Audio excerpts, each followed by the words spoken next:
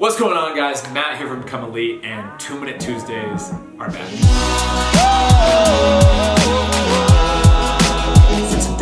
Topic of discussion is speed of play. Now in my opinion, speed of play is one of the biggest differences that you'll notice as you progress up to higher levels. Professionals only have milliseconds to make this decision versus a few seconds at the amateur level. You must constantly be thinking two or even three steps ahead of the game in order to keep up at this pace. So how do you improve speed of play? Well, let's put the time on the screen and let's get started. I believe that you should break down speed of play into three different aspects. Mental, technical, and exposure. Mentally, you need to do two different things. The first is you need to make that active switch in your head that you're gonna play faster, you're gonna take less touches, and you're gonna spend less time on the ball. Even if sometimes it's not necessarily required. At the pro level, we call this playing with urgency. You're not playing rushed, but you're urgent. This is drilled into us during training when coaches are yelling out to play sharper, to play faster, to get the ball moving, to stop sitting on it.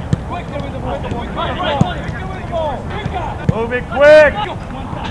Quicker, quicker, quicker. The next step is you really need to focus on mentally preparing and anticipating where the ball should go next or where you should go next. The typical amateur receives the ball, then looks up to decide if they should dribble, pass, shoot, where they should go next. Professionals look up and anticipate what's happening on their side of the field or in their area, where they could possibly pass the ball, where their teammates are going before they even receive the ball. A lot of times as a right back, I'll start to see the ball swinging over from the center back to the other center back. I'm anticipating the ball is gonna come to me. So before it does, I'm looking at the field to see what my right mate or my forward is doing. I'm looking at how tight my defender is towards me or if he's giving me space. I then look back to my center back as that ball is coming into me and I already know if I can take a touch down the line, if I have to take a touch in the middle, if that touch has to be close to my feet because I know what's up. I'm observing, I'm anticipating, and I'm preparing. Now you might be able to anticipate and prepare, but you won't be able to really act on it if your technical skills aren't sharp. This is the second thing you really need to focus on if you want to improve your speed of play, and that's getting your touches, your passes, and your control of the ball at a very high level. If that ball's coming into you and you have to take three touches before you can really control it at your feet and then make the next play, you're killing yourself. You're adding tons of milliseconds to this time. The goal should be to receive that ball and immediately make the perfect touch for your given situation that you've already prepared for. If you can trap that ball 99 out of 100 times right at your foot, you can shave seconds off of your speed of play. Improve your technical skills through fundamental skill training and you'll notice that your speed of play really develops faster. Lastly and most importantly is really experience and exposure. It's hard to really understand how little time you really have on the ball if you don't experience that. Always be challenging your teammates to play at a faster level.